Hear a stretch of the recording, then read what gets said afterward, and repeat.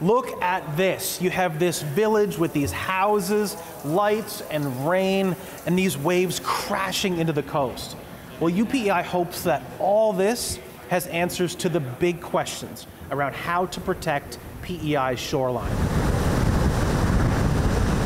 It's really a big step for our lab for, you know, for researching this uh, climate center. The miniature village sits inside what looks like a gigantic fish tank here at UPEI's Climate Smart Lab. Water crashes against the shoreline, and researchers can create heavy rainfall from sprinklers while a machine creates waves we were all so excited to see that happening. And I think uh, this will provide you know, a foundation for us to move forward, not only about research, but also teaching for our students here and also public engagement so that uh, everybody can understand the potential risk we are facing.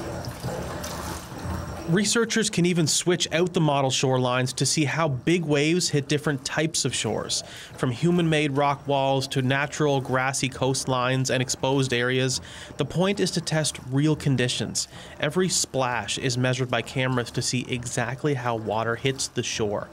Based on these modules, we can actually make some modifications in this tank to really show if you do this protection, maybe the wave will be distributed to other side, or maybe you can slow down the wave. Uh, maybe you can, you can, you can protect this area from a wave run-up. I think that's something which seem, uh, I think it's the most important part when it comes to coastal hazards, coastal erosion protection.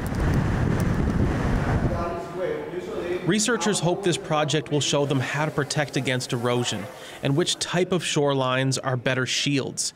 Then that information would go to provincial and municipal governments. And we're also vulnerable to the impact of climate change, so it's really very important for us to understand the coastal dynamics so that we, uh, we can have better uh, increase the coastal resilience. Wong and the Climate Smart Lab hope to take the experiments to the real island shore soon and test some of the research in provincial parks.